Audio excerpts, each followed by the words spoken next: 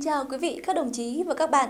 Trong chương trình truyền hình An ninh trật tự Đắk Lắk hôm nay, chúng tôi sẽ chuyển đến quý vị, các đồng chí và các bạn những nội dung sau.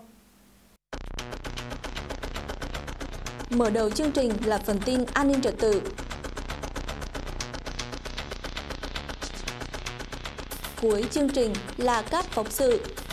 Cảnh báo mối nguy từ việc tiêm vaccine chui. Công an tỉnh Đắk Lắk thực hiện cơ chế một cửa trong công tác hậu cần cảnh sát cơ động giúp dân nghèo ở buôn làng. Bây giờ, mời quý vị, các đồng chí và các bạn cùng theo dõi nội dung chi tiết của chương trình.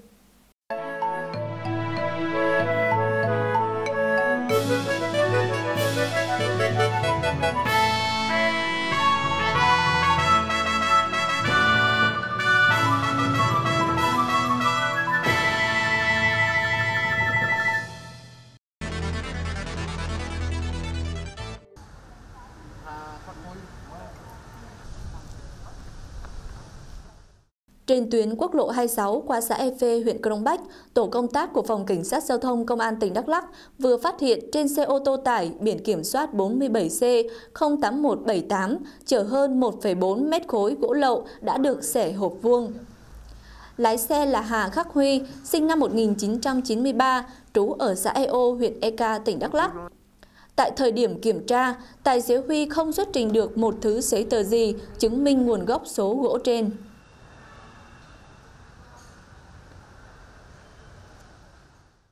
Phòng Cảnh sát Hình sự Công an tỉnh Đắk Lắk vừa phối hợp với Công an tỉnh Ninh Thuận vận động một đối tượng trốn truy nã 27 năm ra đầu thú.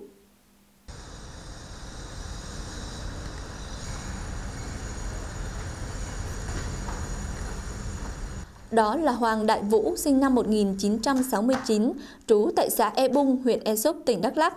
Năm 1993, Vũ bị Tòa án Nhân dân huyện E Súp xử phạt 18 tháng tù giam về tội gây rối trật tự công cộng nhưng Vũ không chấp hành bản án mà bỏ trốn đến xã Lâm Sơn, huyện Ninh Sơn, tỉnh Ninh Thuận sinh sống.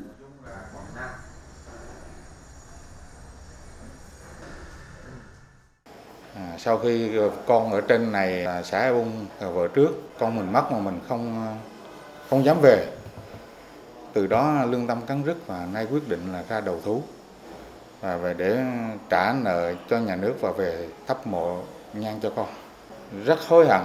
Công việc làm mình trong lúc đó tuổi rất còn trẻ, không có hiểu được. Năm đó thì mới có 22 23 tuổi. Năm nay là 52 tuổi rồi. Suy nghĩ đắn đo và rất buồn về công việc của mình và đến hậu quả đến giờ này. Thành ra tôi quyết ra đầu thú. Sau 27 năm bị công an huyện Ea phát lệnh truy nã, sống trốn tránh pháp luật, cuối cùng Vũ đã được các cán bộ phòng cảnh sát hình sự công an tỉnh Đắk Lắk xác minh truy tìm và phối hợp với công an tỉnh Ninh Thuận vận động ra đầu thú về chịu án trước pháp luật.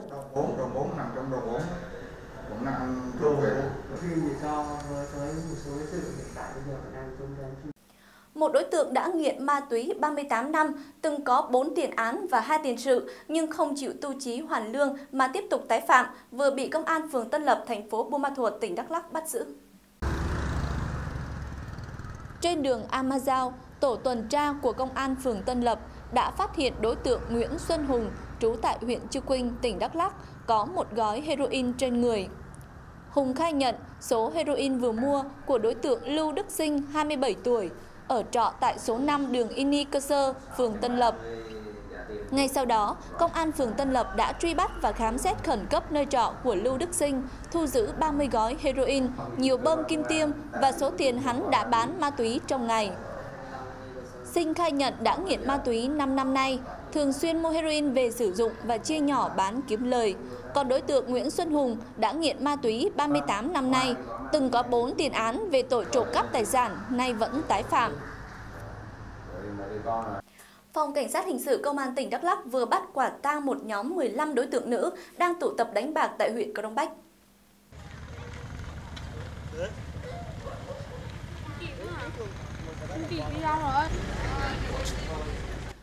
Sau một thời gian theo dõi, Phòng Cảnh sát Hình sự Công an tỉnh Đắk Lắk đã bắt quả tang sòng bạc tại nhà đoàn Thị Thúy, sinh năm 1976, ở tổ dân phố 14, thị trấn Phước An, huyện Crong Bách.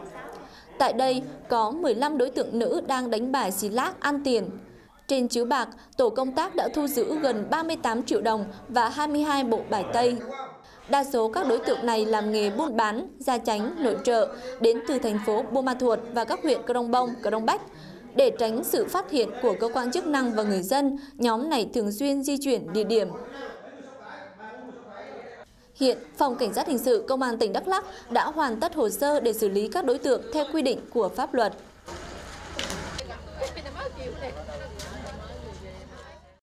Đội Cảnh sát Kinh tế Công an thành phố Buôn Ma Thuột vừa phối hợp với cơ quan kiểm lâm thả một số động vật hoang dã về với môi trường tự nhiên.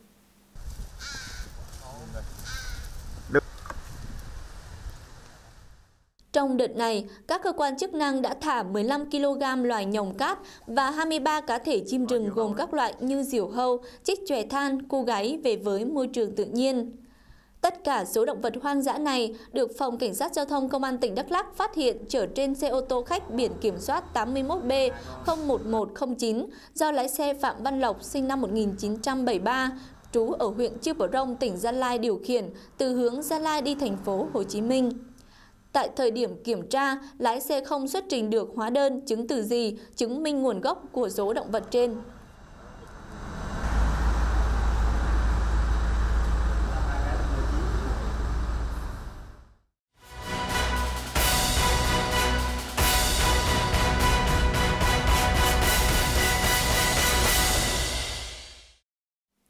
Một cặp vợ chồng từ huyện Cư Giúp, tỉnh Đắk Nông sang thành phố Buôn Ma Thuột, tỉnh Đắk Lắk tiêm vaccine bạch hầu chui cho người dân vừa bị cơ quan chức năng lập biên bản xử lý.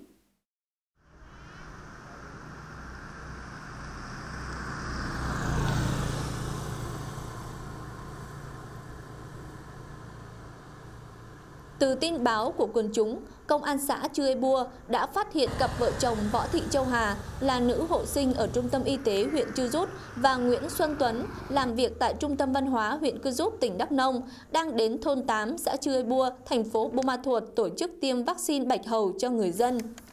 Cặp vợ chồng này khai nhận được một người quen ở thôn 8 xã Chư Bua liên lạc qua điện thoại đề nghị tiêm giúp vaccine bạch hầu cho gia đình. Lúc đó, Hà nói người quen này phải gọi thêm được nhiều người khác đến thì mới tiêm. Sau khi thống nhất với nhau, Hà cùng chồng đã đến tổ chức tiêm vaccine bạch hầu cho 36 người dân với giá 90.000 đồng một mũi. Tổng cộng, Hà đã thu của họ 3 triệu 240 ngàn đồng và hẹn đến ngày 4 tháng 10 năm 2020 sẽ tiếp tục tiêm mũi thứ hai. Tại thời điểm kiểm tra, hai vợ chồng Hà Tuấn không xuất trình được bất cứ giấy phép và chứng chỉ hành nghề nào. Qua kiểm tra, Công an xã và trạm y tế xã Chươi Bua đã tạm giữ của cặp vợ chồng này nhiều vật chứng vi phạm. Trong đó có 6 lọ vaccine uốn ván, bạch hầu hấp thụ hiệu Ivac, 3 lọ đã sử dụng hết. Đáng nói là có một lọ khác cũng đã được sử dụng hết, nhưng không có nhãn mác là thuốc gì.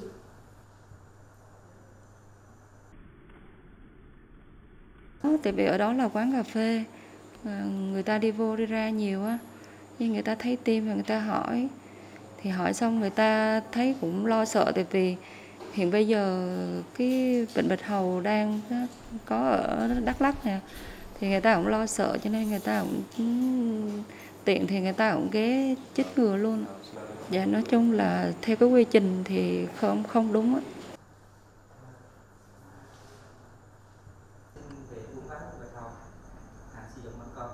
Riêng trường hợp mà đi tiêm thế này thì à, theo quan niệm chuyên môn của tôi thì tôi cảm thấy là không không an toàn.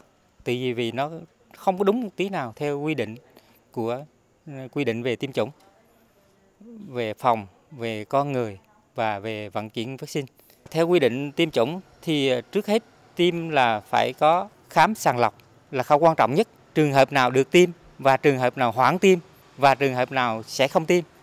Khi mà mình không làm tốt cái công tác về sàng lọc trước á, thì tiêm vào thì đầu tiên là người ta sẽ sốc về vấn đề vaccine. Kiểm tra những cái dụng cụ của người này mang theo á, thì không có cái hộp chống sốc. Thì khi sốc vaccine ở những người mà đi tiêm thế này thì không bao giờ mà mà xử lý được. Thì khả năng dẫn tới tử vong rất cao. Theo quy định của nhà nước, việc tiêm vaccine phải được thực hiện theo một quy trình bắt buộc rất nghiêm ngặt để đảm bảo an toàn sức khỏe tính mạng cho người được tiêm. Vì vậy, người dân hãy đến các cơ sở y tế có đủ điều kiện cần thiết để tiêm vaccine, không nên tin vào những người đi tiêm dạo, tiêm chui để tiền mất tật mang. Phòng hậu cần Công an tỉnh Đắk Lắk vừa triển khai thực hiện quy trình giải quyết thủ tục hành chính theo cơ chế một cửa trong lĩnh vực đảm bảo hậu cần, tài chính.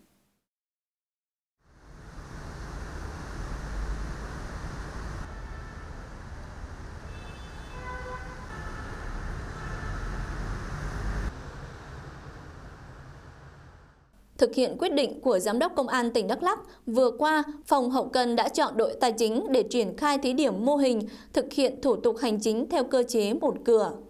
Theo đó, đội tài chính đã tham mưu xây dựng quy định về tiếp nhận, giải quyết thủ tục hành chính trong lĩnh vực đảm bảo hậu cần, tài chính theo cơ chế một cửa tại Phòng Hậu Cần Công an tỉnh Đắk Lắk và phân công cán bộ chịu trách nhiệm thực hiện các phần việc trên.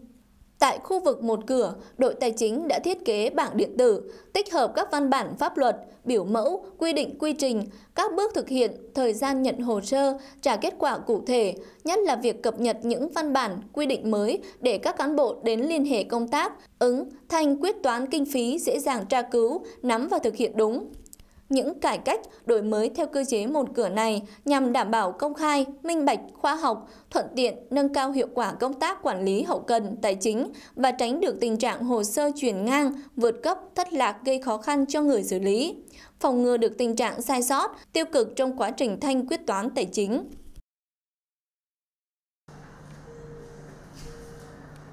Đội tài chính phòng hậu cần à, được chọn là đơn vị tiên phong về cải cách à, hành chính trong lĩnh vực tài chính năm 2020 là một nhiệm vụ trọng tâm của đội.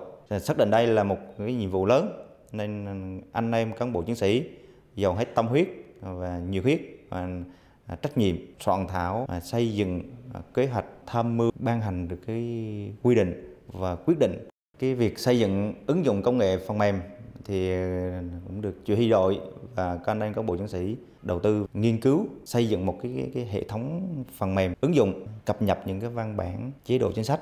Và đồng thời là cái cái phần mềm này cũng là nó rất là dễ ứng dụng cho cán bộ chiến sĩ và anh đơn các đơn vị tới liên hệ công tác ờ, dễ khai thác. Nó rất là tiện lợi. Trên cơ sở là ờ, những cái quy định và quyết định đã được ban hành thì bộ phận một cửa của đội tài chính thì thực hiện theo đúng cái thời gian.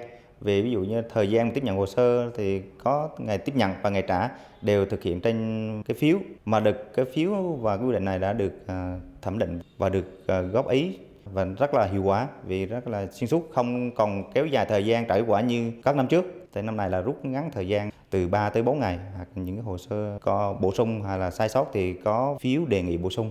À, anh rất là rõ ràng minh bạch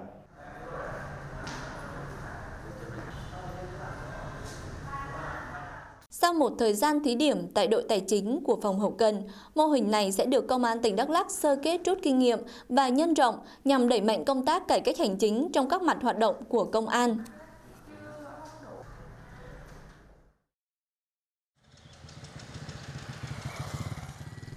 Giang Tao là xã vùng 3 đặc biệt khó khăn.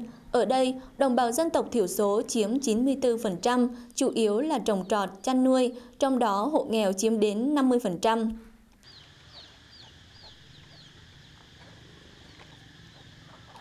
Vừa qua, Phòng Cảnh sát Cơ động Công an tỉnh Đắk Lắk đã tổ chức một đợt hành quân dã ngoại 5 ngày đến giúp dân ở đây phát quang, dọn dẹp vệ sinh môi trường dọc 6 km đường liên thôn, xung quanh trường tiểu học Cư Rút, trường mẫu giáo Hoa Sen, nạo vét 3 km kênh mương thủy lợi, gặt lúa giúp một số hộ dân và sửa chữa căn nhà đã xuống cấp cho người già neo đơn. Các anh chiến sĩ công an có mặt trong ngày hôm nay đã giúp gia đình em cũng cảm ơn các anh các anh chiến sĩ các động tỉnh đã làm công việc ờ, rất rất là nhiệt tình và bên dọn dẹp vệ sinh và giúp dân ở đây. Mấy anh làm việc ở với tụi em cũng rất cảm ơn và các tinh thần của các anh rất là nhiệt tình và vui vẻ. Bên cơ động bên ờ, công an chính quyền giúp đỡ cho cho ông ờ, lúc ngày mưa dột. À, là nói chung là rất cảm ơn vô cùng. đã tạo điều kiện cho ông hoàn cảnh gia đình của ông rất là phức tạp. Nói chung là không không ai nương tựa. À, nói chung là khi là bên công an cơ động đã giúp đỡ cho ông cho ông rất chi là nhiều. Mặc dù công việc khá vất vả, nhưng trong suốt 5 ngày, 50 cán bộ chiến sĩ của Phòng Cảnh sát Cơ động Công an tỉnh Đắk Lắk đã chung tay giúp đồng bào nơi đây rất nhiệt tình, vui vẻ. Bản thân em thì em cảm thấy mình rất chi là hạnh phúc khi là được uh, xuống đây giúp người dân, uh, giúp người dân một việc gì đó. Khi em còn nhiệt huyết và tuổi trẻ của mình, em uh, rất sẵn lòng và đi uh, giúp đỡ những nơi khác và những uh, nơi có vùng uh, có hoàn cảnh khó khăn khác là em cảm thấy rất vui và rất chỉ là hài lòng với công việc của mình ờ, bây giờ.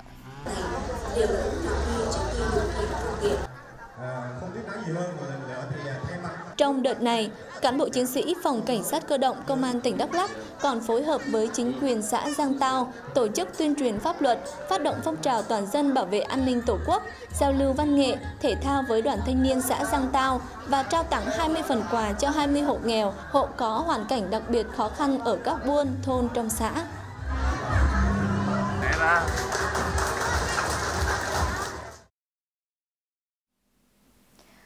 Chương trình An ninh trật tự Đắk Lắk hôm nay xin tạm dừng tại đây. Quý vị, các đồng chí và các bạn muốn xem lại chương trình, hãy truy cập vào kênh YouTube An ninh trật tự Đắk Lắk hoặc cổng thông tin điện tử Công an tỉnh Đắk Lắk tại địa chỉ công an.đắk lắc gov vn và trang web của Đài Phát thanh Truyền hình tỉnh Đắk Lắk tại địa chỉ drt.vn.